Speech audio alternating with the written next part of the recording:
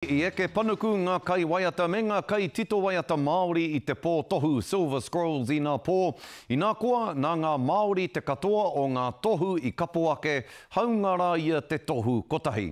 Ko Te Tai Rāwhiti te rohe e tino hurō ana, arā, i whakaurua a Ngoingoi Pēwhairangi rāua ko Tuini Ngāwai ki te whare tapere o Aotearoa.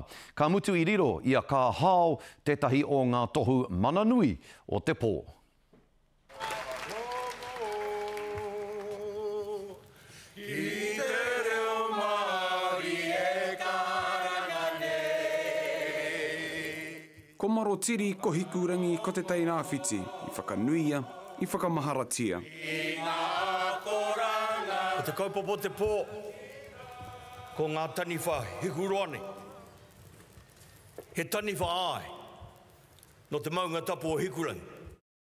Whakaūngia ngā kai tito nei a Tuini Ngāwai me tana irāmutu me Ngoi Pēwhairangi ki te rāngai mana nui o APRA.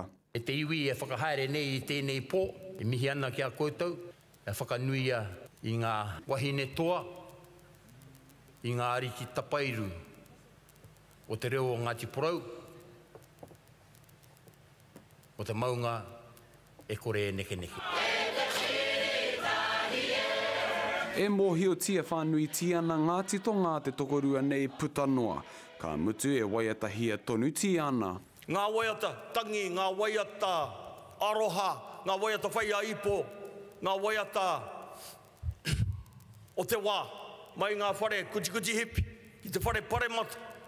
Koia tonu. And the winner of the 2022 APRA Silver Scroll Award Kai Tito Kai Aka is Ka Hao and Rob Ruha for 35. Hao tonu a Te Tai Rāwhiti i ngā tohu nui o te pō, Ka riro i te rōpū Kāha o te Tohu Nui Tei Oreore mō tā rātou waiata rongonui a 35.